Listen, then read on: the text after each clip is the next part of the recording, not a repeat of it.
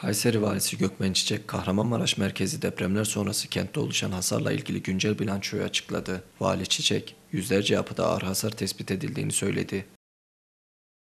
Kayseri Valisi Gökmen Çiçek, geçtiğimiz gün kentte yaşanan 4.7 büyüklüğündeki deprem sonrası kente gelerek kriz merkezine geçti. Vali Çiçek, burada yaptığı açıklamada Kahramanmaraş merkezi depremlerin Kayseri'de meydana getirdiği hasarla ilgili son bilgileri verdi. Vali Çiçek, Kayseri genelinde 660 ağır hasarlı yapının tespit edildiğine, bu yapıların 400'ünün konut 80'in ahır olduğunu bildirdi. Çiçek açıklamasında şu bilgilere yer verdi.